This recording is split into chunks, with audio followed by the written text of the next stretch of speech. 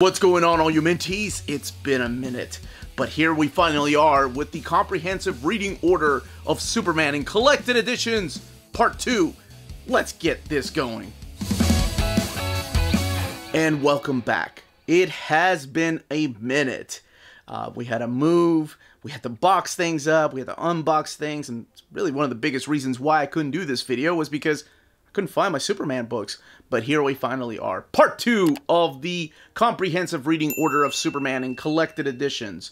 Uh, so today we're going to be discussing everything from 1993 to 2001. Again, focusing on the big series, nothing really like spin-off series or mini-series, unless they're crucial. And I am going to talk about some. Um, before going any further, though, thank you so much to our existing patrons for voting for this. Uh, every month or so, I put up a poll on our Patreon uh, for people to vote for the next reading order and the link is in the description of the video. And if you want written documentation, that's where you will find the written documentation of all these reading order videos, as well as the past ones that I've done.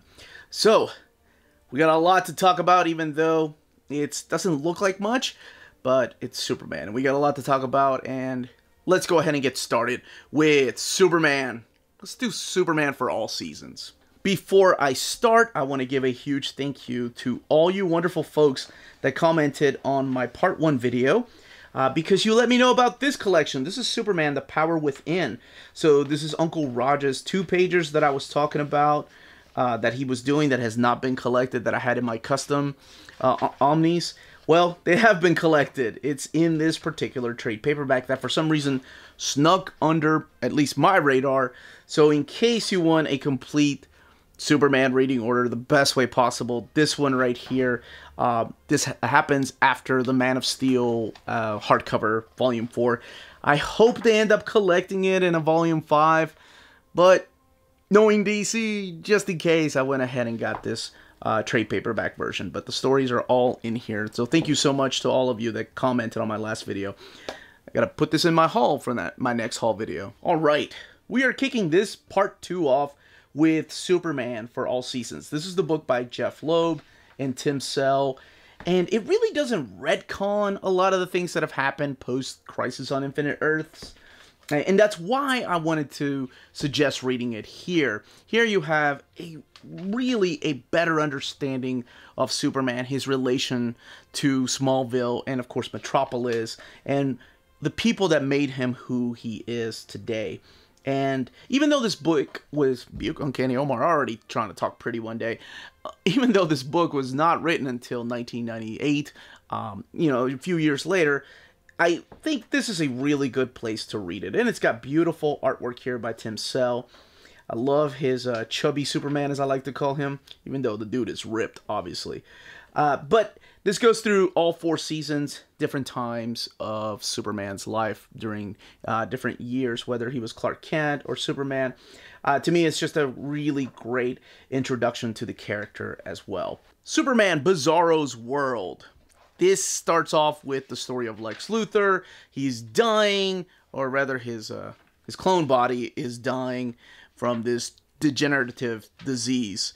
And in an effort to try to save himself, Luthor just ends up hatching this plan to recreate Bizarro, a character that was previously introduced during John Byrne's run on Man of Steel. And of course, Bizarro decides to just have his own mission, that is to recreate the world according to his own vision. And of course, that leads us to the title, Bizarro's World. Now, this is the only way that this has been uh, collected in this old trade paperback. A lot of these are old trade paperbacks, which just goes to show you just how much is lacking in the collected editions department as far as the Man of Steel. Uh, but this is after the return of Superman, after he had died, and it's honestly the next place to go. Now, uh, this one here collects issues all the way from Superman, Action Comics, Adventure, and Man of Steel. So there's still four titles going on, and this is still regarded as the Triangle Years, which I explained in part one of the reading order. These titles, man. The Death of Clark Kent. So I actually really enjoyed this story. This is about a childhood friend of Clark Kent. His name is uh, Kenny Kenny Braverman, I think.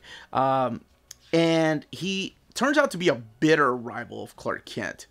And somehow he learns the true identity of Superman. Now he's trying to deviate this plan to destroy Superman and get revenge and retribution for something that happened in the past. So he's been holding a grudge for a long time.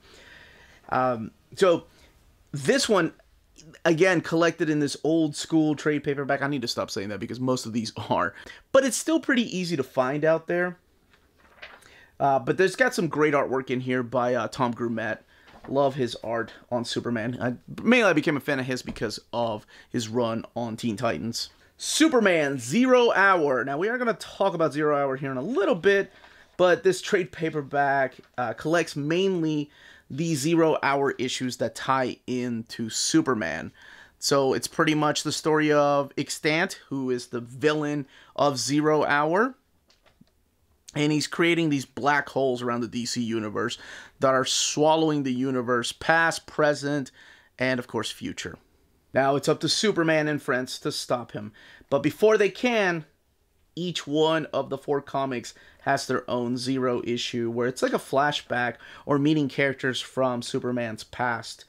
This one actually just came out a few years ago. It would like they had never released a collection like this and for some reason waited up until I think 2018 is when they did it. We also have Superboy in here. It's not just Superman comics, but it's also Steel and Superboy. They are both collected in here uh, because they had their own ongoing series for a while. But if you want to see what the big event is, I did an overview of this omnibus years ago. This is the actual zero hour event where you'll have the mini, uh, series, where you'll have everything leading up to one of the one of the biggest stories uh, re um, revolving around Hal Jordan. Is it important for Superman? Uh, not really, but there are some great Superman moments in here. To me, the best thing to come out of this was they were trying to pretty much set a new rule for time travel. And it brought back the classic JSA that I ended up loving later on. Uh, but this one here, this, this one's still, I think, pretty easy to find. The Trial of Superman. So one important thing, this was released here in America, uh, but I found a cheaper version uh, with Titan Books. They're out of, uh, I think it's they're out of the UK. So the exact same version is available in America.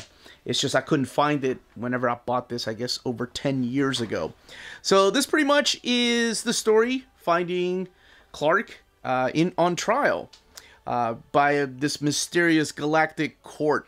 Uh, they're known as the Tribunal and this also features the return of one of Superman's baddest characters, like not like bad, like he, the guy sucks, but like a complete badass.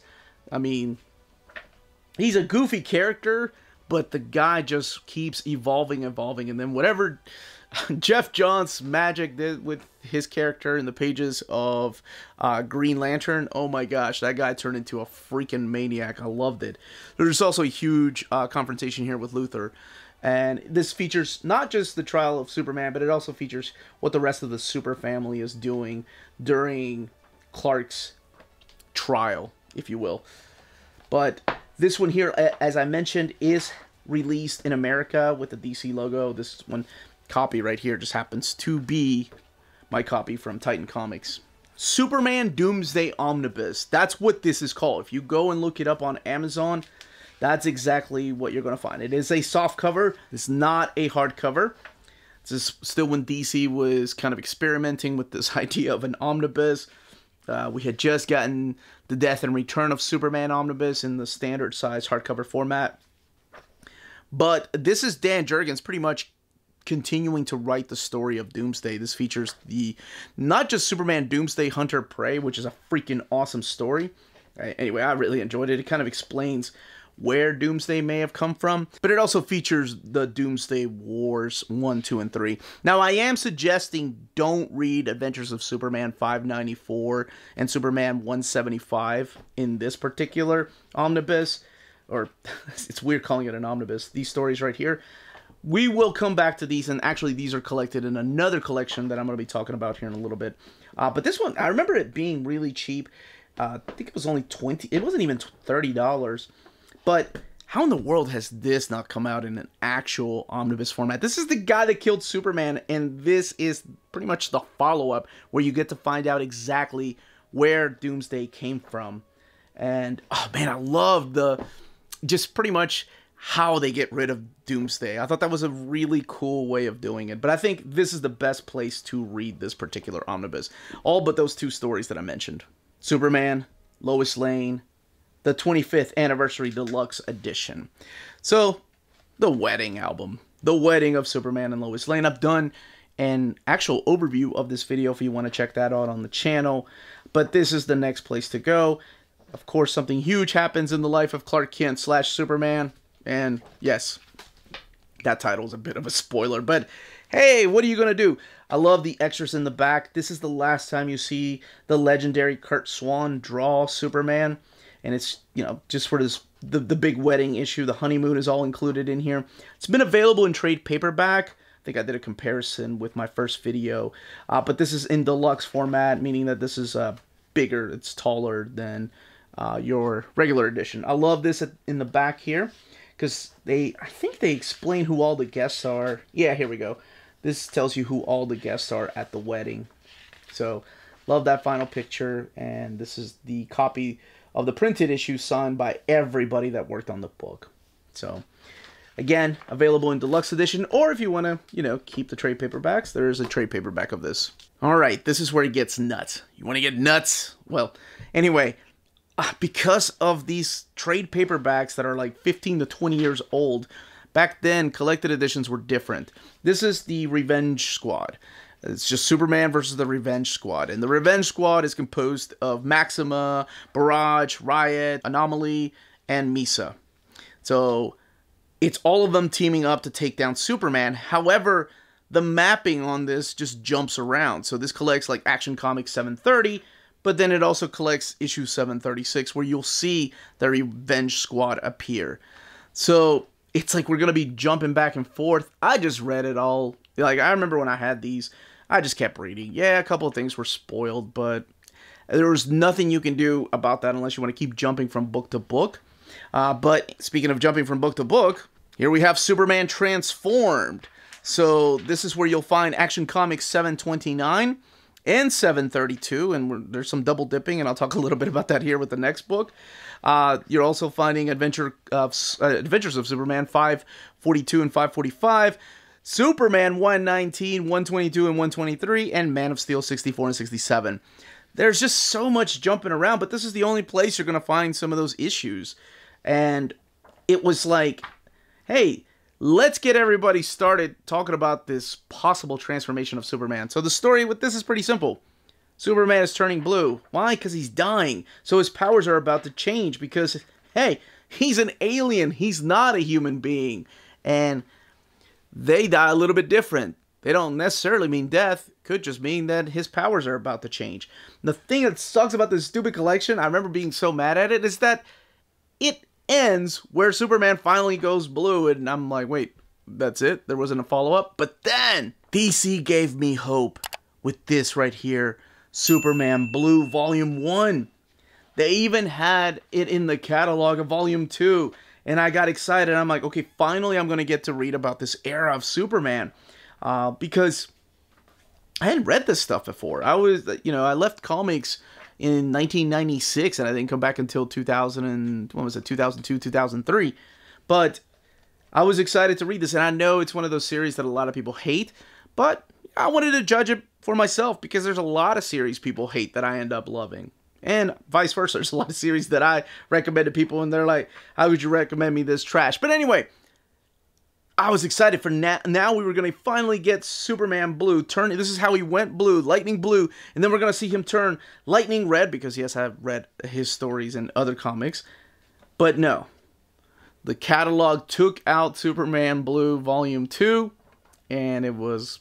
I mean, they don't really officially cancel books because it was never solicited, but it was just gone. So I never really did get to find how he split into two different people. Uh, I think there were supposed to be two or three volumes of this particular era. Um, but this one's still really easy to find. Who knows? I mean, anything's possible with DC. They may release a Superman Blue Volume 2.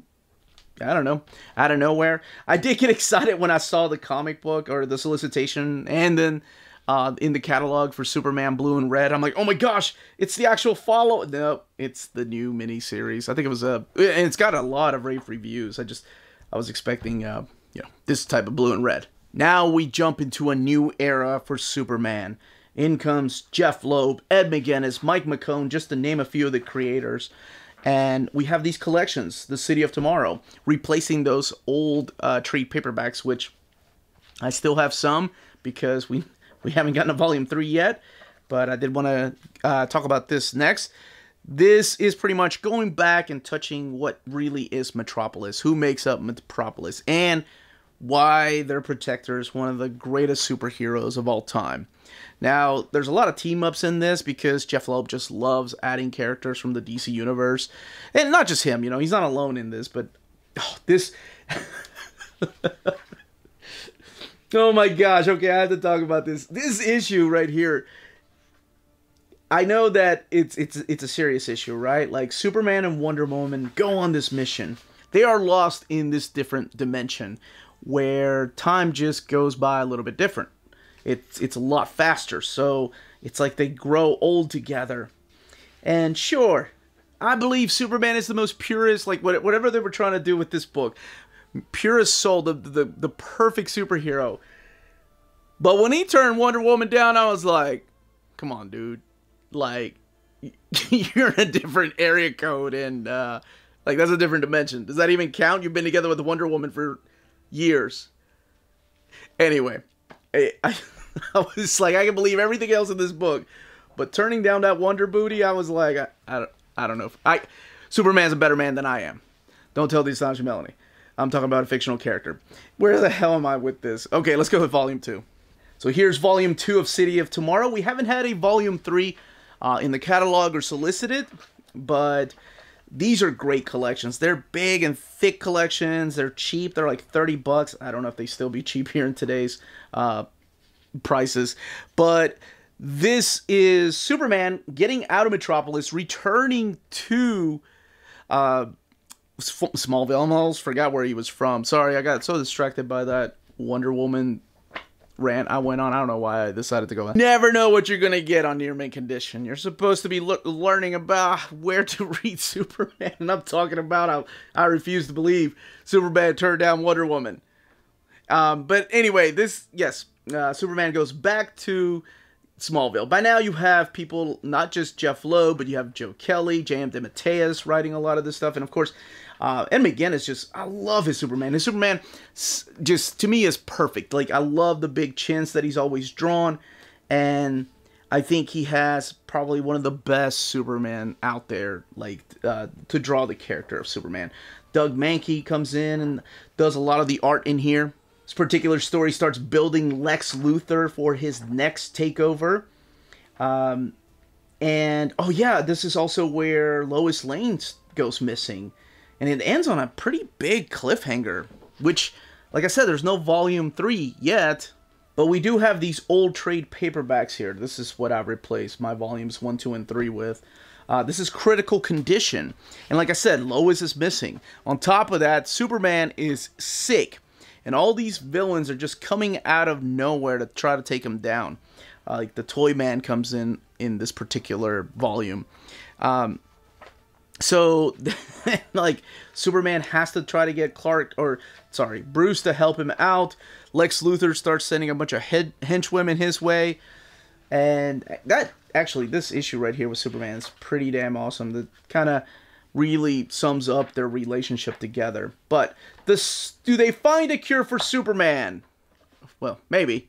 And then who ends up curing him? We gotta interrupt that because we gotta talk about Emperor Joker. I really like this story, and hardly anyone ever talks about this. Love the covers by McGuinness here. This is pretty much when Batman's greatest nemesis, the Joker, reshapes reality. How? Well, find out by reading it, and becomes the world's greatest, most dangerous criminal.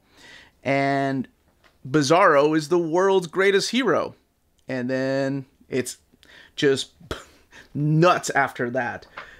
Like I said, it's one of the most underrated gems to me. This is before Batman Superman, and probably what really got Jeph Loeb to try to bring back that title of World's Finest with the Superman Batman comic that he got to write and kick off actually with uh, Ed McGuinness, and then of course later on Michael Turner. But there's some Mike Miller artwork.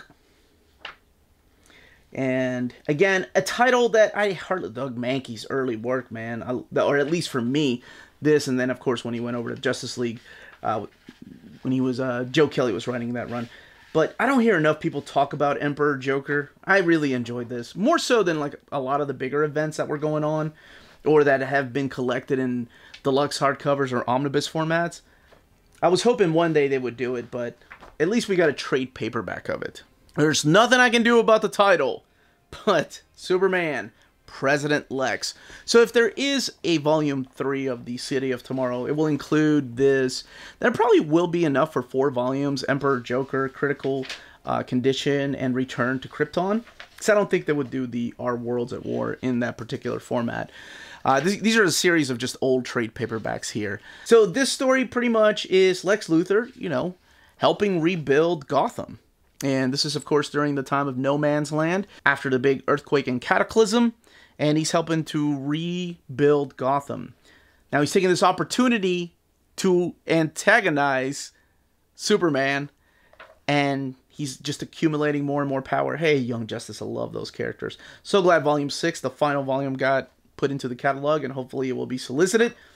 Uh, but what I was going to say is, he ends up running for president and, of course, becomes president. So long before Marvel did their Dark Reign with Norman Osborn becoming uh, the head of Hammer, you know, taking over S.H.I.E.L.D. and all that, you know, President Luthor was around. I thought that was cool, and he stayed president for a long time. Again, you have Ed McGuinness on artwork uh, for most of the stuff in here, and he's joined by Doug Mahnke, Paco Medina, just to name a few. Uh, Mike Wieringo also doing some of the art in here. You know I love sneaking books in, but this is where I suggest reading one book from here, and that is What's So Funny About Truth, Justice, and the American Way. That is found in Action Comics 775. I've talked about it in my Where to Start Reading Superman. I think it's a phenomenal story that best introduces you know, what Superman symbolizes and why he symbolizes it. And again, this is uh, Joe Kelly and Doug Mahnke working together. This has also been uh, part of these. Where is it? The Superman like best of stories. I think it's also been collected in there. Uh, it hasn't been collected in an actual Superman in chronological order, like a trade paperback, but you can find it here or in that. I think it's Best of Superman. It's a freaking awesome story if you've not read it. All right, Return to Krypton. This is another one that's a mess. Uh, just looking at the mapping, which I'm going to put somewhere around the video here. But if you look at the mapping, it's a mess. I mean, just how it's collected. Like, how are you going to have Superman 166 to 167 and then 184? Like, you're skipping a huge chunk of stories. Uh, but the main part of this, though, the main focus of this is that Superman meets his biological father and they have this whole father son bonding moment. And it's weird because they're the same age, and how this all happens, and is it really his father? Well, one way you can find out. So, my only thing I will say about this is do not read Superman 184, Adventures of Superman 606, or Man of Steel 128, or Action Comics 793. Because you want to read this first. This is Superman Our Worlds at War. This is the big thick trade paperback. There's also two smaller trades that are um, a lot older than this, but this one collects more than those trades. I will say that. Um, so this is a huge attack on Earth is coming, and it's the character known as the Imperiex. Imperiex, I think that's how you pronounce it and all the characters, not just Superman. I mean, everybody, all the Justice League, Young Justice, they all have to fight against this oncoming doom. They all have to team up with characters like Luthor and um, Darkseid. Luthor, siphoning my inner Hackman. But anyway, uh, this has a lot of deaths and it changes a lot of the status quo for some of the characters a lot of the things that happen here affect the pages of Justice League, affect the pages of Wonder Woman. There's a couple of weird things that happen here that I have to ask myself: Did that did that character really die? Did the character die off screen? And I'm serious. There's a lot of deaths here. Now, of course, some of those deaths have been undone since this, uh, but at the time it was huge. This is also where you will see Superman. There is a book I haven't talked about because it's an alternate reality, but everybody should read it because it's Kingdom Come. And if you're familiar with Kingdom Come, you know the emblem is changed, right? This is where Superman decides to change the emblem on his chest to look like that Superman from Kingdom Come. And it's in order to honor the fallen soldiers of our worlds at war. So this is the way that I'd suggest to collect it uh, because, like I said, the two trade paperbacks just uh, they don't collect everything. This has more of the comics in it. Now you can go back and return to Krypton and read the issues that I said to not read because those take place after our worlds at war. But that's part two. And that, as they say, is that. If you're interested in purchasing any of these books that are still in stock, check out our sponsors, cheapgraphicnovels.com, your online home for graphic novels and collected editions up to 50% off cover price. They have excellent shipping and prompt and helpful service. Check out their bargain deals for up to 90% off cover price. And don't forget that CGN also takes pre-orders. That way you don't miss out on the hottest releases. And they are currently running a special promotion for you Minties. If you're a first-time customer, after receiving your order confirmation email, reply back to that email and let them know Near Mint Condition sent you their way. They will then apply a free shipping promotional credit to your next order in the US. Cheap Graphic Novels, your source for the hottest books with the kind of deep discount, quality shipping, and customer service that will keep you coming back for more. If you live in Europe and are interested in pre-ordering or purchasing Omnis, then you should definitely check out Walt's Comic Shop in Berlin, Germany. They have the cheapest pre-order prices for Marvel and DC big books within the EU, Flat shipping of 9.90 euro for EU countries. Extremely careful and sturdy packaging. Emails are answered within 24 hours. And they have a superb selection of new releases and out-of-print books on their website. Just head over to waltscomicshop.com for more great deals and rare titles. And for a limited time, you can use the code Near Mint Condition, all one word, at the checkout for free shipping to all EU countries with your first order. Walt's Comic Shop, your reliable source for omnis and premium collected editions in Europe. And that was the comprehensive reading order of Superman in collected editions part 2. Man, we've got a lot to still get collected. So, look forward to part 3 that should be coming up in the next couple of weeks. Now that I found everything and I'm ready to get back to it. Uh, but anyway, don't forget to smash the like button. Again, uh, join our Patreon. It's a great way to support the channel, and you have things like access to videos early or getting them uh, to vote on what the next reading order should be.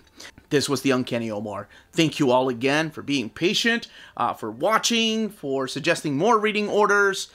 Uh, yeah, everyone, thank you all so much. Seriously, thank you to our patrons, not uh, just the ones that are credited at the end of this episode, but also every single Patreon we have, whether they're new uh, that just joined uh, today or have been with us since the beginning.